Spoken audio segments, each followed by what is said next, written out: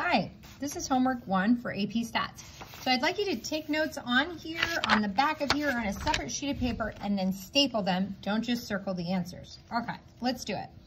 So the first question is a good review of what a chapter one question would look like on the midterm. So let's take a look. It says a box plot of two data sets are shown, plot one and plot two. Based on this, which one is true? So again, when we take notes, we want to actually state why it's true and then why the other ones are false because we're using this to study. Okay, so the range of both plots is about the same. Well, if I look at the range, there's no numbers here, so I can't take max minus min, max minus min. So even that is a little confusing. So let's review what that might mean. So another piece of paper, I, I decided to take notes. And um, you can write some of this or just summarize. So it looks like, if we look at the data, that the range is the max minus the min. Since we don't know either number, we can compare the distances between the max and min. So this is the range, this is the range. And we see this is about the same. So we see that this is true. But let's say this wasn't obvious to you. We should continue to prove the other's false. So let's do just that. So in proving these are false, let's take a look. In B, the question states, the means of both pots are approximately equal. So that's kind of a trick question. I'll explain why. We don't get a mean in a box plot. A box plot is actually a five number summary. So if you came to this, you might notice that that's a five number summary is what a box plot is. This number, this number, this number, this number, this number. It's a five number summary and the mean is not one of them. So I would skip this one and we'll come back. All right, what about the next one being false? It says plot two contains more data points than plot one. Well, I definitely have something to say about that. Um, this would be false. We don't know how much data is in a box plot, only a five number summary of the data, unless the problem actually comes out and tells us. So this would have to be false because we don't have a way of knowing that. Now let's look at D. It said the medians are approximately equal. So this is the median and this is the median. Those do not look like the same number at all. So D is very obviously false. The medians are the middle line of the box and these are not similar. Now this can help us go back and answer the mean. So it's kind of misleading. It's like, how could you have answered that? So I'm gonna give you some clues to that. Well, technically, technically, we know from observation that if data is symmetrical,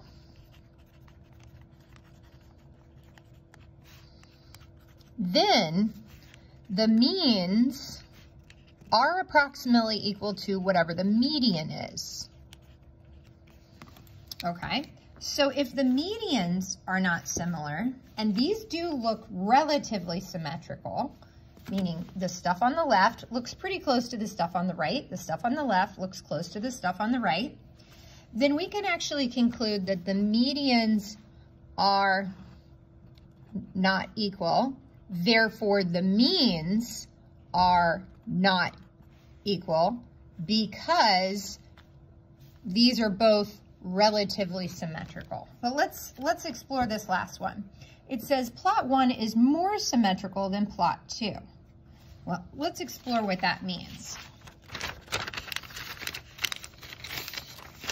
So, symmetrical means that if I fold it at that line, it will fold on top of itself, its own self.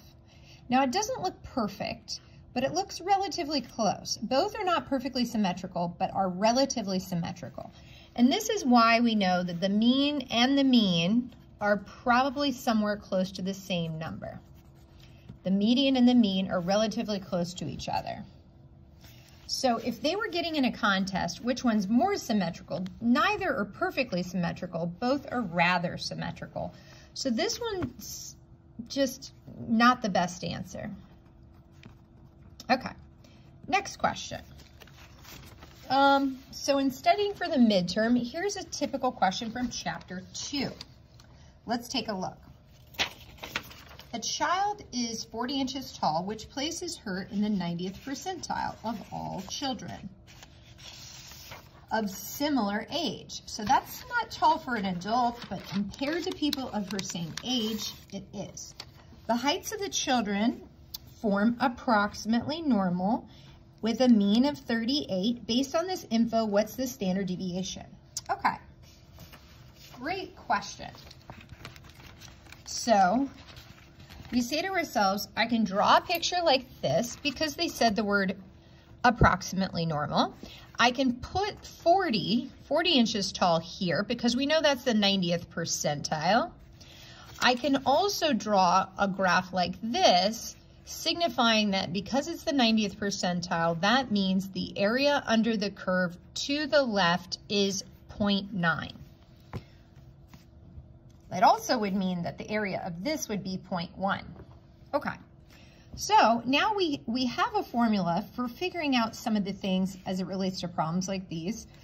Our z-score is equal to AP statistics, the actual height, the predicted height, and the standard deviation of the heights. So the actual height was my student, 40, the predicted, well, if we know nothing about the child, we assume that they would be 38 inches high. The standard deviation, that's what we're solving for.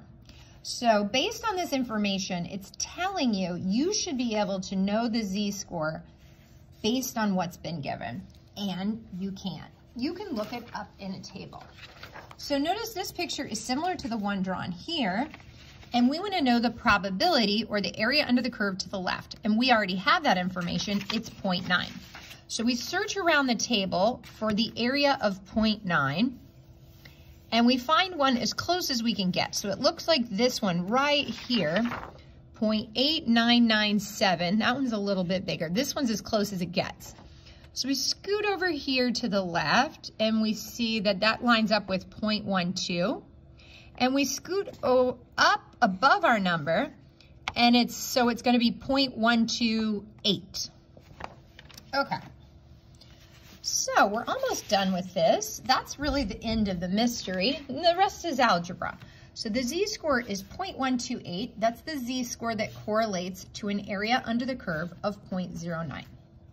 Now, we can do the swap here. We can move S up here and 129 down there. So swapping those, and again, keep, keep track, that's not a five, it's a letter S for standard deviation. You can also put an S sub X. Um, you'll see that notation. And I solve and I get 1.5625, which is E. Beautiful. Okay, next question. This question would look like a question from chapter 3. So how would we answer it? Let's take a look. It says, if you plotted five points, so maybe 222, 10, 4, 6, 14, 14, 2, 18, negative 4. Okay, so I've plotted these five points. And they all look relatively close to a straight line. They're kind of bobbling around what you might think of as a straight line. What, which residual will be the largest absolute value? So they're really asking who is the furthest away from the line of best fit? Who's farthest from line of best fit? Or we also call that the least squared regression line. Okay. Well, we have a calculator to do that. You could also go to Desmos and type in the four coordinates, and it will give you that information.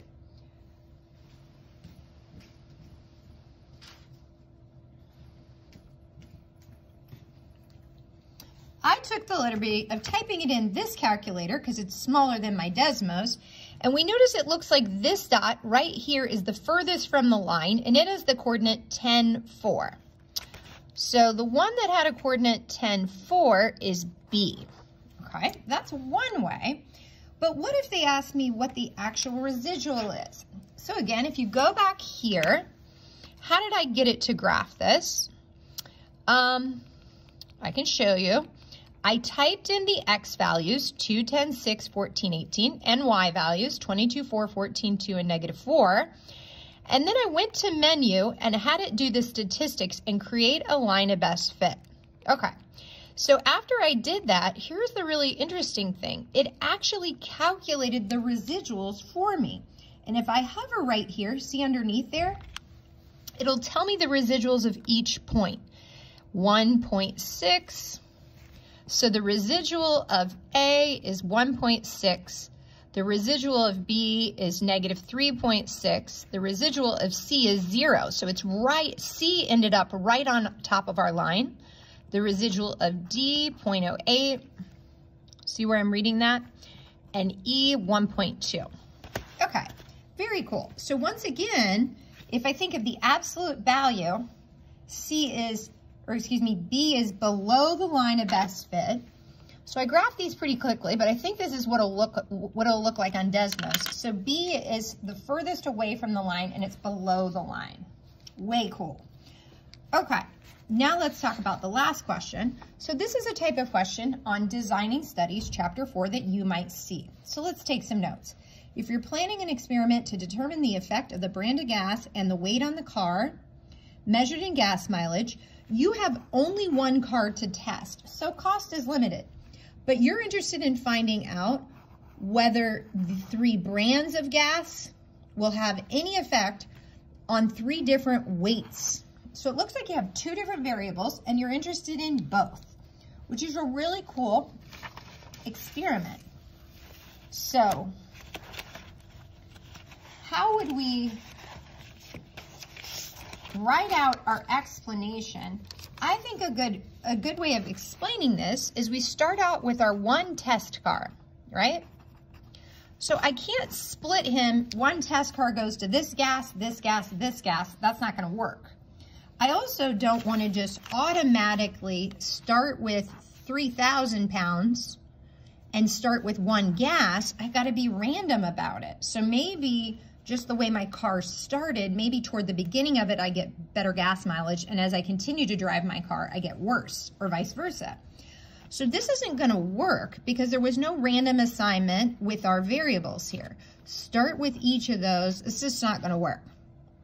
Choose gas at random, I like it, and then test the car 3,000, 3,500, and 4,000 in that order. You were not random with the second variable there. So that's a problem. Okay, let's look at these last two.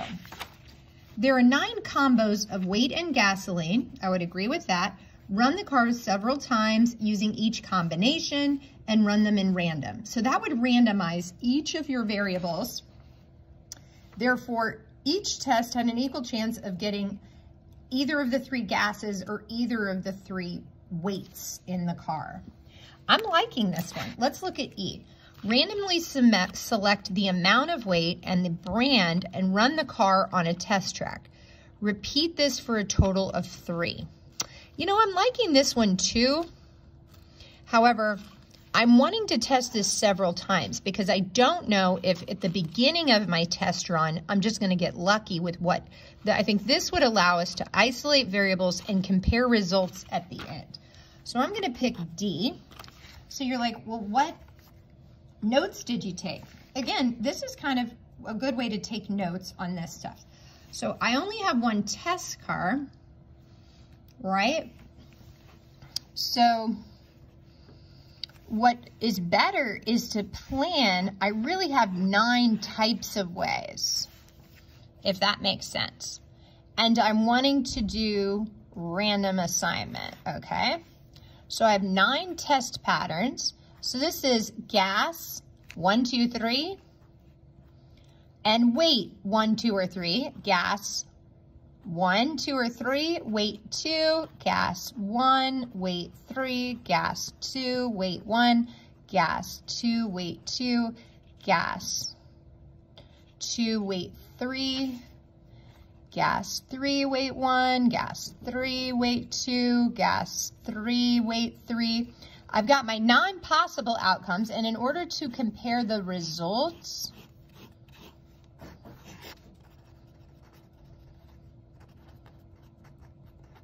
what I'm gonna do is make sure they each have a random opportunity to do so.